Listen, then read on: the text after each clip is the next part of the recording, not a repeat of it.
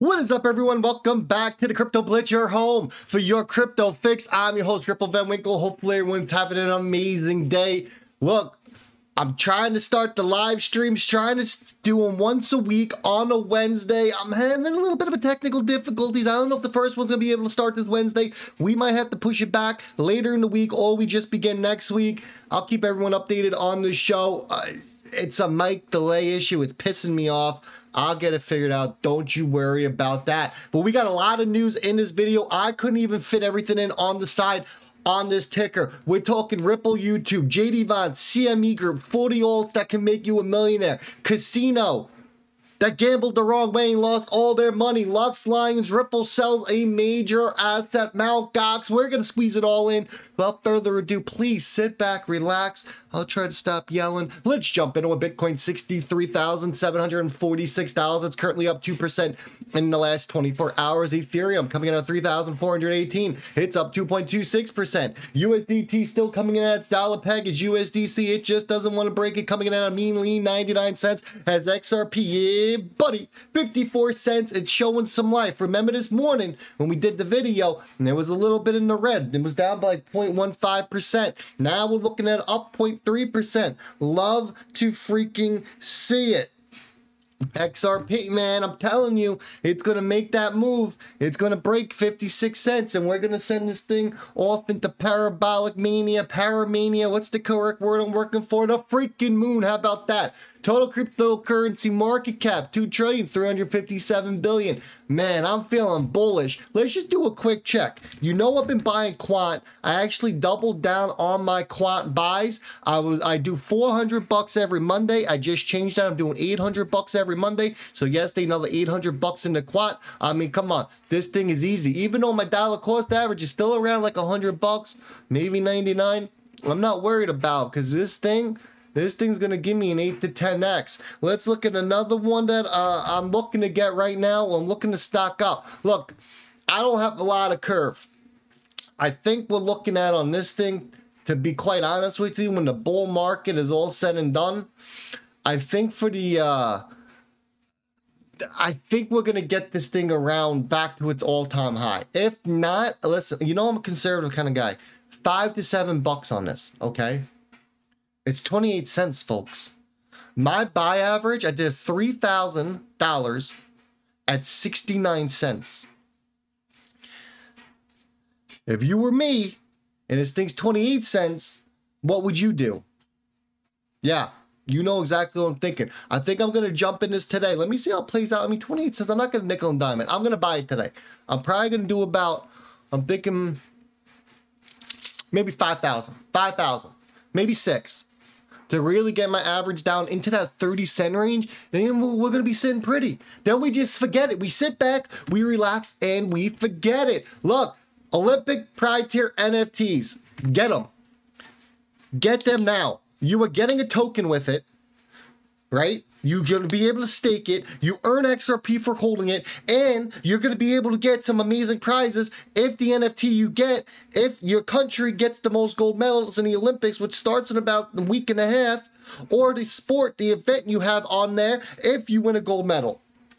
I don't know what you're doing. 700,000 given back to our holders already. Look at this one. What a genius. Crypto casino founder apologizes for gambling away the investors' funds. Galaxy says its former general partner, Richard Kim, he took 3.67 million of the funds and gambled it away. Maybe if you have a gambling problem, you shouldn't run a casino.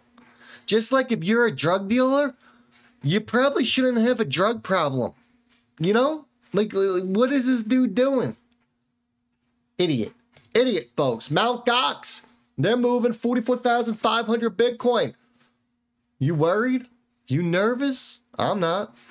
Let them. Bring it on. Because as Mando says, all that money, sooner than later, you know where it's going? Into altcoins. Then Ripple, pretty crazy. They released 50 videos today on their Ripple YouTube channel. 50 videos. Uh, was it just a data dump? Did someone just forget to do their job? I'm, I'm, I'm confused on this. I'm very confused on this. Then look at this. Trump's running mate right here, JD Vance.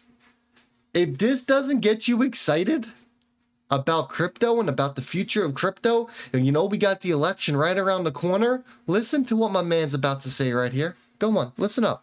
If there's a candidate for worst person, in my view, at least in terms of my substantive you know, disagreements, I'm sure he's like a nice guy, uh, is Gary Gensler. Okay, so Gary Gensler is sort of the complete opposite of my view. And there are two problems that I have with Gary. Uh, one of which is that I think he wants to inject politics way too much into the actual business of securities in the United States of America. But uh, the, the, in some ways, the more fundamental issue, or at least the most relevant issue uh, for, for, this particular conference, is you know, the, the, approach that Gary has taken to regulating blockchain and crypto uh, seems to be almost the exact opposite of what it should be. Uh, it, you know, and I'm oversimplifying a little bit, but the question the SEC seems to ask in regulating crypto is is this a token with utility? And if it's a question, if it's a token with utility, then they seem to want to ban it. And if it's token without utility, they don't seem to care.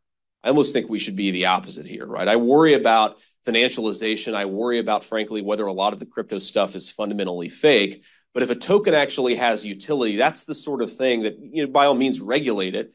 By all means, be careful about, you know, how consumers interact with it but you don't want to just get rid of this stuff. And, and here's where I really, really worry about this is a lot of the newest challengers to social media, the social media incumbents of 2024 are going to require some blockchain technology to make their to make their business work. Uh, maybe, maybe they'll require a, a, a, a token that supports verification. Um, there are all of these ways in which the companies, when I talk to sort of friends who are still in the VC industry, the companies that are most exciting to them, they're doing actual things. All right, we can cut it there. My man's bullish on crypto. That's huge. Trump's going to the Bitcoin conference. He's about to drop a speech that's going to be heard around the world. He said before, and I showed you the tweet, he wants to back the US dollar with Bitcoin.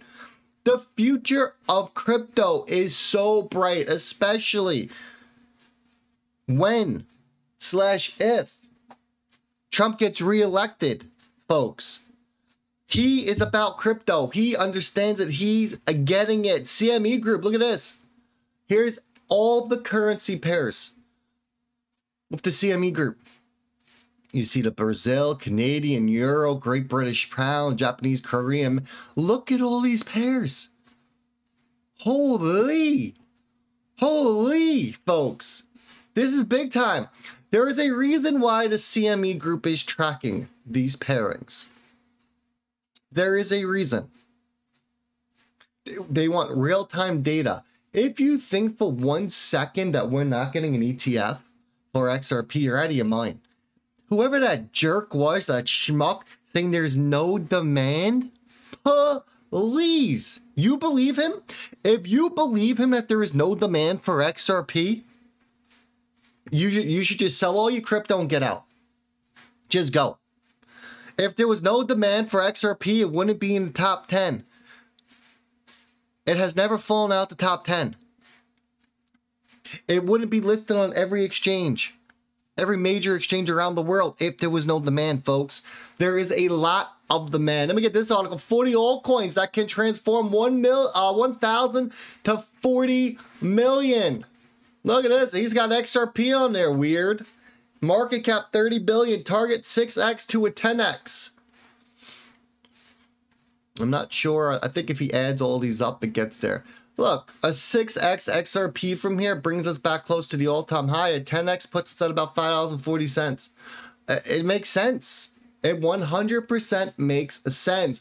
Break in July 33rd, July 23rd, 33rd. Yeah, I made that one up, right?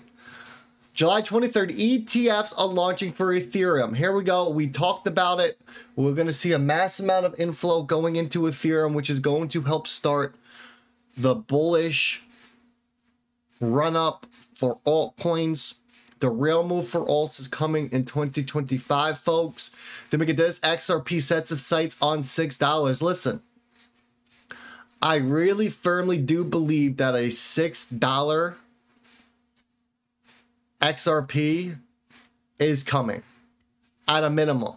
A $6 XRP puts us at a 6% market dominance, which XRP has achieved every single time.